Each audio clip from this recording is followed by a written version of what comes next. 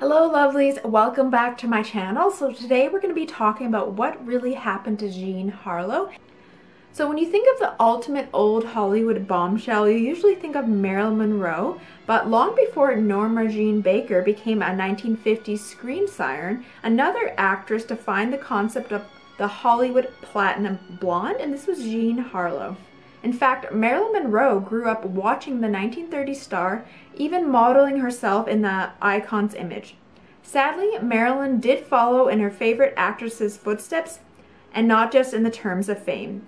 The two starlets had controversial deaths and were similar as their successes in life. So just as Marilyn Monroe used to be Norma Jean, Jean Harlow was born as Harlean Carpenter on March 3, 1911 in Kansas City, Missouri.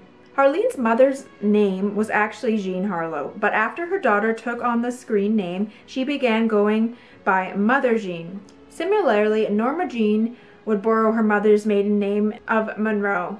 Meanwhile, Harlean's lifelong nickname among friends and family was the baby. When Harlean was a child, Mother Jean aspired to be an actress. She divorced Harlean's father, a dentist and moved herself and Harlean to Hollywood to pursue her dreams. But she never found success. So mother and daughter moved back to the Midwest where Mother Jean married a man named Marino Bello. At the age of 15, Harlean caught scarlet fever, an illness that may have contributed to her eventual death. But according to an episode of You Must Remember This, a podcast by Karina Longworth, Harlean was soon healthy enough to marry the first of her three husbands. Harlean was 16 when she married 20-year-old Charles McGrew, the same ages as Norma Jean and her first of three husbands, James Dougherty. The next year, Charles inherited a small fortune and moved with his new bride to Beverly Hills, where the couple carried on a reportedly rather leisurely and party lifestyle. Harlean was discovered by Fox executives while she was visiting a movie lot with a friend. Apparently, she wasn't at all interested in becoming a star even giving them a fake name, her mom's. But certainly they were interested in her, or at least in her look, a glamorous blonde with killer curves.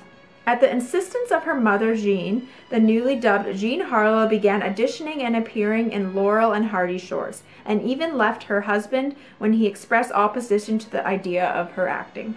Though she had just a small part in the 1929 film The Saturday Night Kid, Jean all but stole the show from the lead, Clara Bow the it girl starlet at the time. Her big break was in Howard Hughes's Hell's Angels in 1930, in which she replaced the original lead silent film star Greta Nissen, who spoke with a thick Norwegian accent and therefore couldn't, in the director's mind, transition to the talkies. Howard Hughes, publicity director, is credited for coining the platinum blonde, says The Atlantic, just as Mary Pickford was designated as America's sweetheart. This term was so successful that a 1931 Frank Capra film was renamed Platinum Blonde, especially for the white-haired Jean Harlow, even though she was the supporting actress and not the film's leading lady. Of course, Jean Harlow's hair color was not natural. Her hairstylist dyed it weekly with an incredibly harsh and dangerous combination of peroxide, ammonia, Clorox, and Lux flakes. Still, the look inspired thousands of women to repurchase hydrogen peroxide and attempt to recreate the look, including and eventually the future Marilyn Monroe, who even hired Harlow's same stylist to color her hair. While another beautiful blonde actress, Thelma Todd, had already paved the way for the bubbly, curvaceous blonde persona, Jean took it in a new direction. In the span of only a few years, the actress established herself as a smoldering sex symbol while simultaneously displaying a serious skill for a quick comedic dialogue. So when I first started YouTube, I really didn't know how to do any video editing or how to edit photos when I first started my blog and I was Googling online different classes I could take and I actually learned everything on Skillshare and this was a few years ago. So I learned how to use Adobe Lightroom on Skillshare as well as Adobe Premiere Pro, which I used to edit all my videos. And I also took a few courses on Instagram and just YouTube SEO. And it really helped me launch my YouTube channel a few years ago. And it's super affordable. It's only $10 a month to try Skillshare and I have a membership and I always go on there at least a few times a year to like refresh my skills and I'm really excited now because it's the new year and I plan on taking a few new courses as well. There's lots of good marketing courses on there especially since everything's always changing with social media and Instagram. It's good to keep your skills up or if you just want to take a fun creative class like painting or drawing, they're all on there and I like how affordable it is because I know I was looking at some community colleges and the Premiere Pro classes there as well as Lightroom, they were upwards of $450 and especially now with COVID, I don't want to be going to a classroom or paying $450 to take this, these courses that aren't even that great where I can take it on Skillshare and it's way cheaper. And the first thousand people to use my link in the description box will get a free trial of Skillshare Premium membership. So make sure you click the link below to join.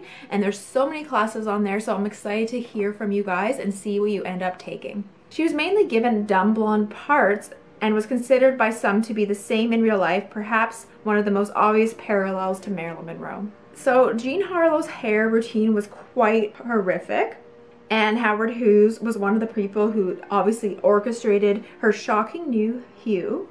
And the billionaire producer signed Jean Harlow to a $100 per week contract and cast her in his 1930 film Hell's Angel. And to publicize this movie, as well as his newest find, Hughes wanted to give Harlow an unforgettable nickname that would catch the eye of moviegoers, not unlike Clara Bow, who was known as the It Girl. Some of the doozies that were being tossed around for Harlow were Blonde Landslide and Darling Cyclone. Eventually, cooler heads prevailed and Hughes' publicity department settled on the Platinum Blonde. To complete Jean Harlow's new persona and look, her eyebrows were shaved off and drawn into an extreme arch, and her lips were painted on in a cupid's bow. To publicize her film, the studio's publicists offered $10,000 to any hairdresser who could match the color. Naturally, no one could. Back then, there was no dye on the market that could make one's hair as white hot as Harlow's. And her personal hairdresser revealed the secret formula decades later, saying that they used peroxide, ammonia, Clorox, and Lux Flakes. And eventually, Jean Harlow's hair began to fall out because of all the toxic treatments. She stopped the dye jobs and began wearing wigs or sporting slightly darker hair colors in later flicks. In 1937, at the age of 26, and at the height of her career, Harlow died of kidney failure and uremic poisoning. Some believe that the heavy-duty dyeing process may have led to her demise. Most likely, Harlow's kidneys were damaged when she contracted scarlet fever at the age of 14. Kidney damage is actually a slowly progressing disease that can remain undetected for years.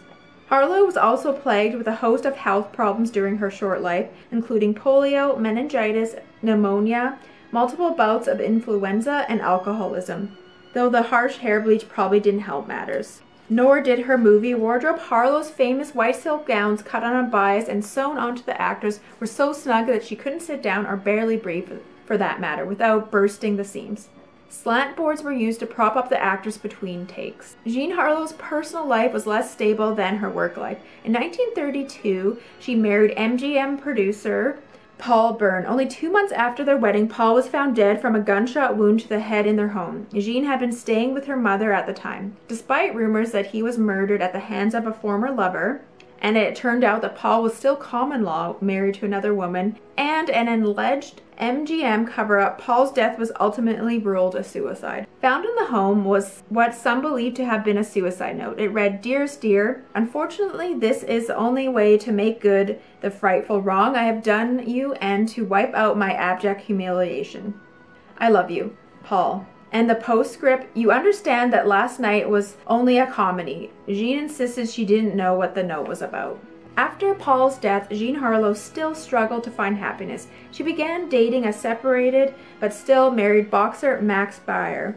But Max's wife filed for divorce on the grounds of adultery and named Jean as a co-respondent. The studio, hoping to avoid another scandal, arranged for Jean to marry cinematographer Harold Rosson. At the time, Jean became ill and had to have an emergency appendectomy. The union lasted only eight months. By 1935, Jean seemed to have finally found love with the actor William Powell. The two dated seriously for two years. However, she may have been personally with William. Jean continued to drink heavily, which, as Longworth notes, may have obscured other health problems, including headaches mistaken for hangovers and a puffy face and swollen belly that Jean likely believed to be alcohol related weight gain. Her mother's solution was apparently to put her on a strict diet. Not even 10 years into her career, Jean was looking less and less like her blonde bombshell self. Even her signature platinum locks began to fall out in clumps as the weekly bleachings finally took their toll. Then, in an operation to remove all of her wisdom teeth, her heart momentarily stopped beating. Two months later, while working on another movie with Clark Gable called Saratoga, her mouth was still infected from the surgery. Stomach pain and vomiting, believed to be the flu, kept Jean home in bed and was later misdiagnosed and treated as a swollen gallbladder. Clark was reportedly very concerned after he came to visit and found a terribly bloated, rotten smelling Jean. Finally, another doctor correctly diagnosed her kidney disease, which was linked to her scarlet fever as a child and had likely been a long time coming. Sadly, at the time, there wasn't much that could be done. The first successful kidney dialysis was not until 1945, and the first successful kidney transplant was in 1954. Jean Harlow died two days after the diagnosis on June 7, 1937, at the age of 26. However, alternative theories circulated about her untimely death, just as they would in 1962 when the 36 year old Marilyn Monroe unexpectedly died. Finding the truth difficult to accept, some fans speculate that Jean really died of a botched abortion or of an intestinal damage from being beaten or from the very bleach that gave her hair platinum blonde shade. The film Saratoga had to be completed using Jean's body double, an experience Clark tragically compared to acting in the arms of a ghost. The 26 year old's body was placed in a massive burnished copper casket said to have cost $5,000. That year, Norma Jean would have been 11 years old, living in the LA orphans' home in Hollywood, and perhaps only beginning to dream of stardom. In the very last weeks of Marilyn Monroe's life, she was planning to star in a biopic about her childhood idol, Jean Harlow. Sadly, she never got the chance. So thank you so much for watching this video. I really enjoyed researching the parallels between Jean Harlow and Marilyn Monroe and I feel like there probably is a lot more so I'd love to dive into that if you were interested so let me know in the comments below and I'll see you guys again soon. Alright, bye!